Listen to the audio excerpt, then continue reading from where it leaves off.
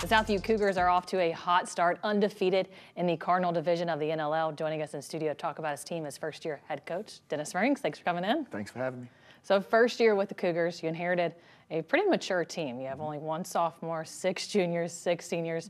What did you think about them initially, and what are your thoughts now that we're kind of at the midway point of the season? Um, I was really excited that we had a, a senior-led team this year. Um, you know, they had a lot of close games, and I knew that coming in, if we were in them close games this year, that that senior leadership would come in handy this year.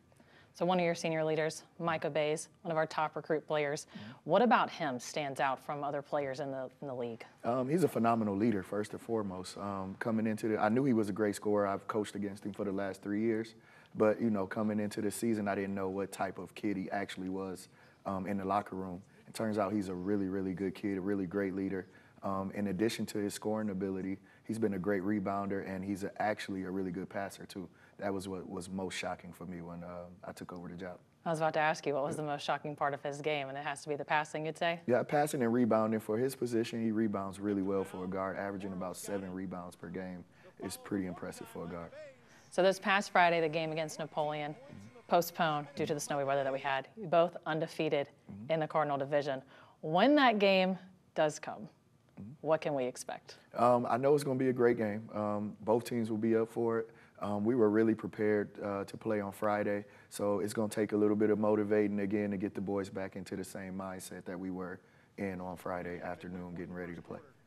So 2 and 0 in Cardinal play, 7 and 2 overall. Only losses coming to Anthony Wayne and. Mm-hmm.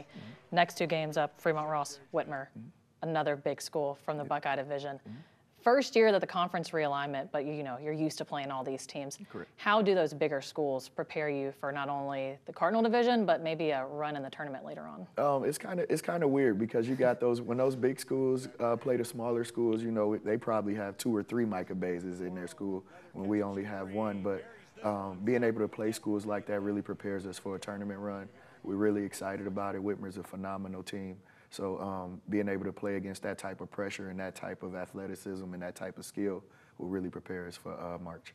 So before Whitmer, you got Fremont Ross coming mm-hmm. up. What does that game look like to you guys? Um, we're going to have to keep them out of the paint. They got a lot of kids that can really attack the basket and drive. So we've been working on our man-to-man defense, trying to keep guys out of the paint because they got some really, really quick guards over there. So that's going to be a fun game and it's an opportunity to see what we can do defensively.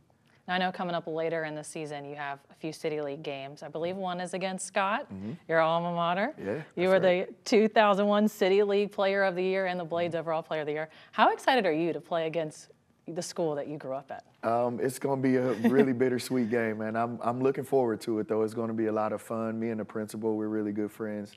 Um, I'm still really involved uh, in the school system, so I go over to Scott quite a bit, and, and you know I know, know, know the coaches, I know the faculty, I know the staff, so it's going to be a really fun game. I know the community is excited about it too. People are already talking about it, so it's going to be really exciting. Speaking of communities, first one for you in Sylvania. Mm-hmm. What is that atmosphere like for you? Um, it's been great. They've been really supportive. Um, whatever I've needed, they've come through for me. Um, I'm, I really, I've really enjoyed my time so far at Sylvania Southview. All right. Well, we will enjoy following up with the Cougars yep. and all your games right here at BCSN. Sounds good. Thanks for joining us, Coach. Thanks for having me.